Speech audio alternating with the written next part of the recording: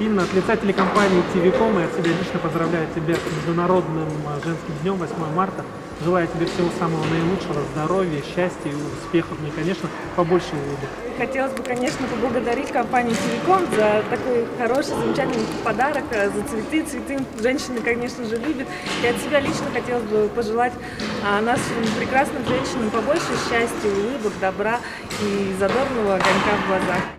Ее меткости можно позавидовать. За 15 лет в спорте немало громких побед. Золото чемпионата мира, серебро Олимпийских игр. Все же главная победа еще впереди. Буквально через несколько месяцев подсказывает интересное положение спортсменки.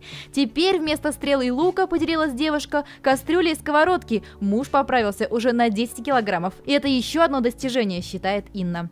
Кулинарными изысками может похвастаться и известный общественный деятель, председатель фонда общества без барьеров Галина Горбатых. Оказывается, Оказывается, она имеет третий поварской разряд. Ее коронное блюдо – торт «Воздушный поцелуй». Именно им при случае она и обещала накормить нашего намасарая. Здравствуйте. Здравствуйте. Дорогая Галина Алексеевна, разрешите поздравить вас с 8 марта. Спасибо. Желаю вам быть всегда такой же прекрасной, сильной, мужественной.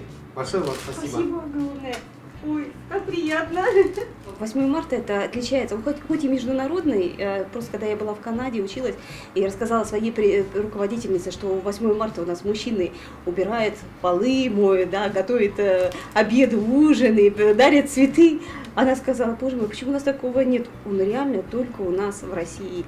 И поэтому Наши женщины самые счастливые, действительно, у нас хоть один день, но у нас действительно такой счастливый, когда мужчины делают для нас, из нас, для нас, точнее говоря, такие подарки, да, дарят цветы, и пускай другие женщины, может быть, даже завидуют во всем мире, да, что у нас ну, действительно такой праздник есть. Заместитель руководителя администрации Улан-Удэ Светлана Трифонова даже 8 марта планирует отметить на посту. Почти 10 лет в политике, руководила школы, была секретарем горкома комсомола. Рассказала, что любит путешествовать, особенно за границу, в гости к любимым дочери и внуку.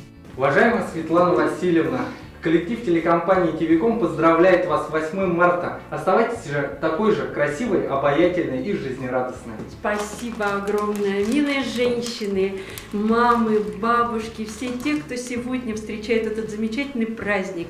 Я хочу пожелать всем любви.